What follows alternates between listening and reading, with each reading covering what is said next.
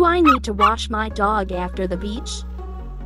You should always give your pet a thorough rinse after a trip to the beach in order to remove any sand or salt that has built up in their fur, which could cause skin irritation. Some dogs with longer hair or more sensitive skin may require a full bath after the beach.